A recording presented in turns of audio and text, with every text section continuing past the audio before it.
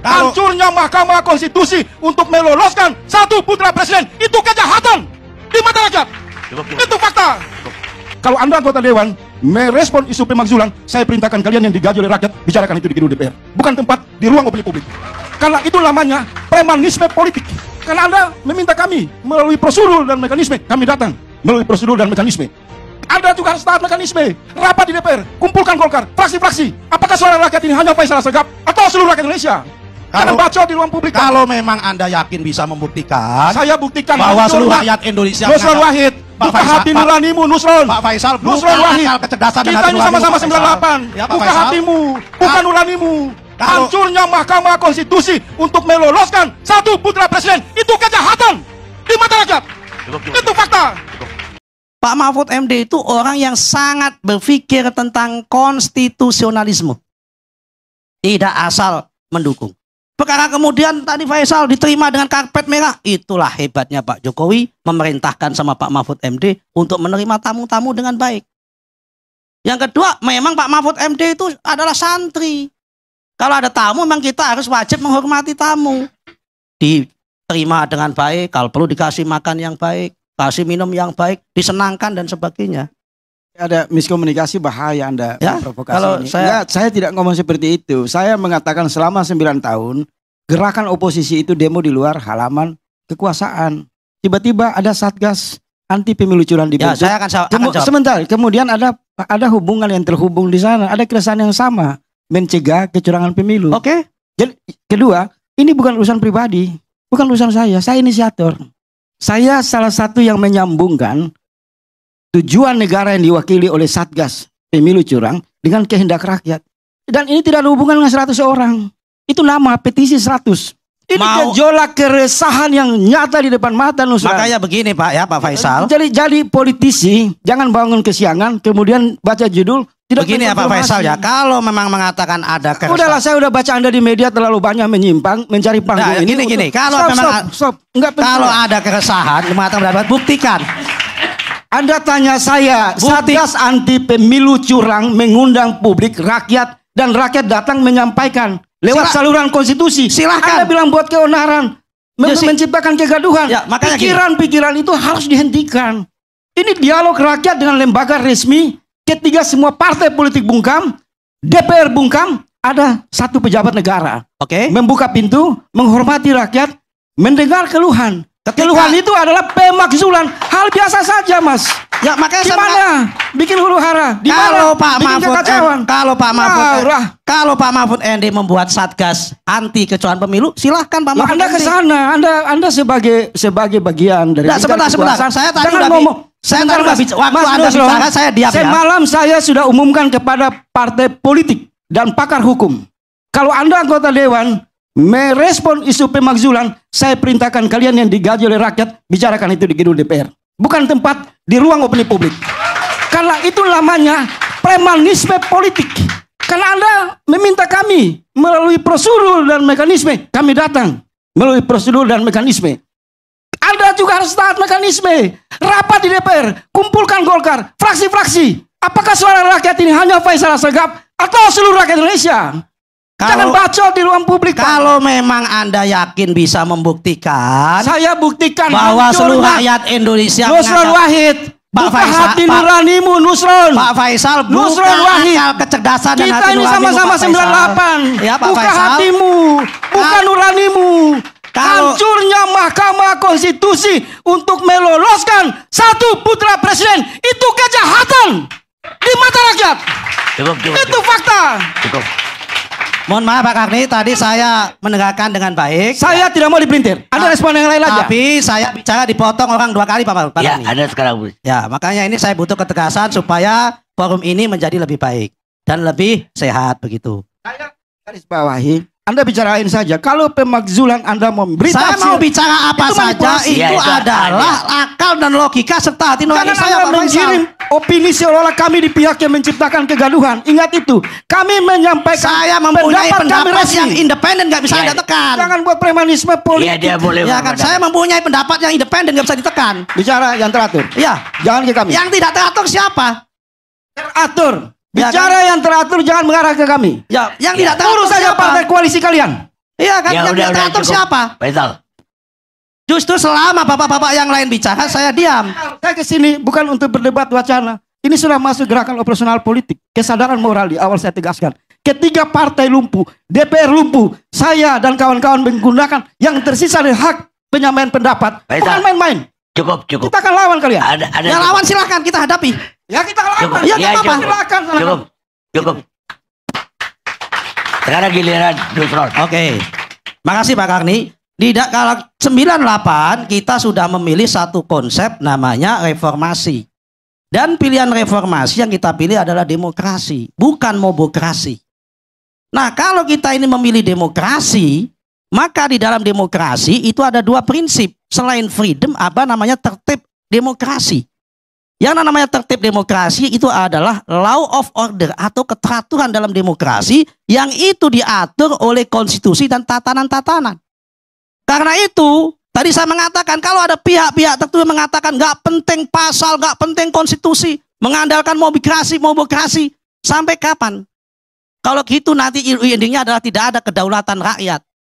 Yang ada adalah kedaulatan orang yang bisa mengerahkan untuk menekan biar- biar- biar. kepada kekuatan-kekuatan publik. Ini satu penggalangan opini yang keliru. Pertemuan di Menko Polhukam itu antara rakyat yang diatur oleh mekanisme. Saya mohon Pak Karni adil. Kalau Ya. saya mengatakan kita Nah, jangan di bicara sini ada pasal ada forumnya. Iya, iya. Dia Ya. giliran dia. pintir Nus. Ya. Saya tidak memelintir. Dia- dia Jangan giliran dipintirkan dia. Anda komentar di luar itu sangat Dia- tidak bagus. dia boleh. Berapa komentar Anda misalnya menyimpang dari substansi masalah. Iya. Ya, Faisal Asegaf ini guys adalah salah satu inisiator petisi 100 gerakan pemakzulan uh, Presiden Jokowi. Bahkan dirinya uh, mengklaim bahwa gerakan untuk memakzulkan Presiden uh, Jokowi tersebut guys telah mendapatkan uh, dukungan yang luar biasa dari berbagai kalangan termasuk dari uh, kalangan partai politik. Tidak hanya itu, bahkan dia juga mengklaim bahwa 50% dari kalangan internal Partai Gerindra sendiri yang jelas-jelas partai tersebut mengusung paslon Prabowo Subianto dan Gibran Rakabuming Raka juga mendukung wacana pemakzulan tersebut.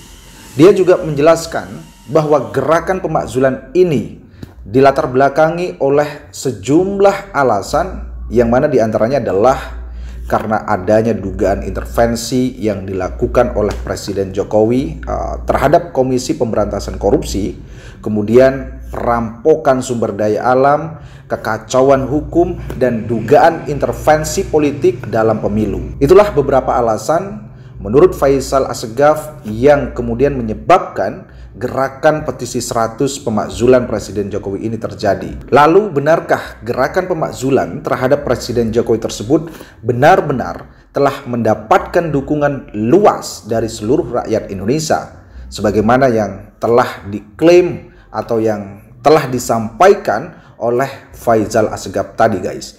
Yuk kita dengarkan beberapa reaksi atau respon masyarakat atas isu pemakzulan Presiden Jokowi tersebut. Uh, berikut ini videonya. Sudah yakin mau kalah bikin petisi pemakzulan Pak Jokowi. Emang lu, lu kira ini tahun 98 ya? Pada saat tahun 98, Presiden Soeharto diturunkan dari jabatannya, 95% masyarakat Indonesia setuju. Tapi kalau sekarang, 86% masyarakat Indonesia mencintai Pak Jokowi. Coba kamu bayangkan. Atau kalian nih yang bikin petisi, yang ada 100 orang tuh, ya kalau terjadi pemakzulan terhadap Pak Jokowi apa yang akan terjadi bagi bangsa ini? Kerusuhannya bisa 2 sampai 3 kali lipat dari tahun 98 masyarakat Indonesia sangat mencintai Pak Jokowi. Pikirkan baik-baik. Jangan hanya karena demi keinginan pribadi ambisi pribadi terus menghancurkan demokrasi di negara ini. Aku sebagai rakyat yang telah memilih Pak Jokowi dua kali periode akan maju melawan. Bangsa ini martabatnya naik karena Pak Jokowi jadi jangan main-main dengan rakyat. Pemakzulan Jokowi lagi rame ya katanya. Gerakan untuk memakzulkan atau menurunkan Jokowi. Rame di mana? Di medsos. Oh iya kalau di medsos. Medsos itu kan alat untuk membuat viral apa aja. Tapi kalau kita lihat fakta, ya sebenarnya nggak ada apa-apa. Cuma itu loh, kubu orang-orang brengsek itu sudah bingung mau gimana lagi. Biar ambisi mereka bisa lancar dan mulus. Karena maju nggak bisa, nanjak nggak mampu. Jadi ya stuck dan muter-muter di tempat aja. Apa sih yang jadi masalahnya mereka itu? Ya apalagi, karena powernya Pak Jokowi masih kuat. Mau nabrak aturan kayak gimana juga susah. Isu pemakzulan Jokowi ini kan menggambarkan sudah mentoknya akal mereka untuk meruntuhkan spirit Jokowi di segala bidang. Awalnya Pak Jokowi dirangkul, diajak kongsian, jelas nggak mau.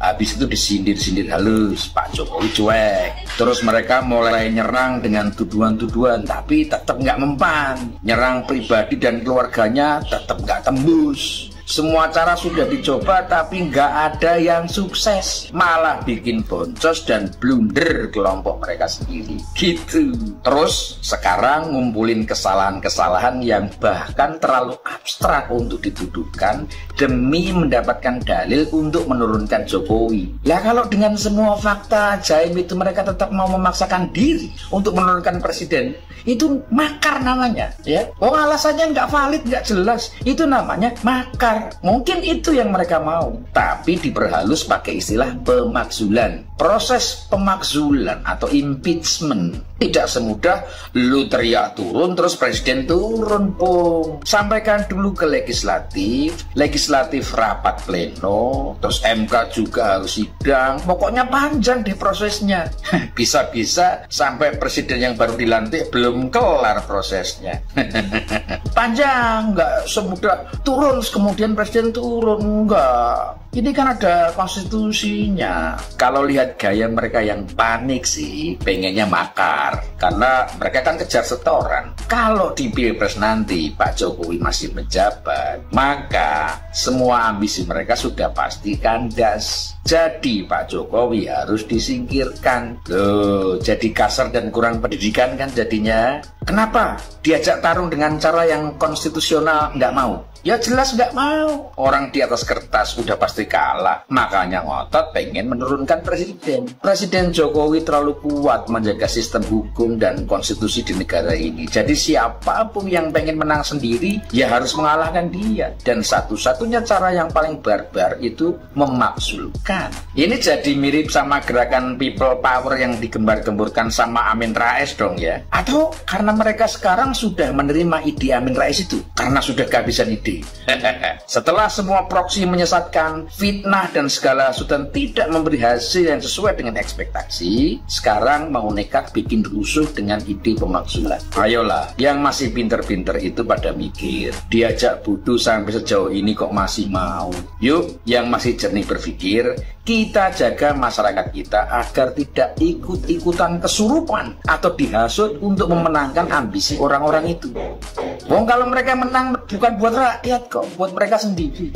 Rakyat itu cuma pengen hidup tenang dan kecukupan. Jangan diajak rusak-rusakan. Kita cukup jaga rakyat aja. Pak Jokowi nggak usah dijagai. Pak Jokowi sudah ada yang jagain. Kita jaga masyarakat kita dari siluman-siluman yang mau merusak pemerintahan yang legitimit. Kita jaga siluman-siluman yang mau merusak kesatuan dan persatuan, ketentraman, kedamaian. Nanti ujung-ujungnya rakyat yang susah kalau diajak rusak-rusakan. Ya. Jadi tetap tenang, tetap jernih berpikir, dan tetap menjaga kebaikan.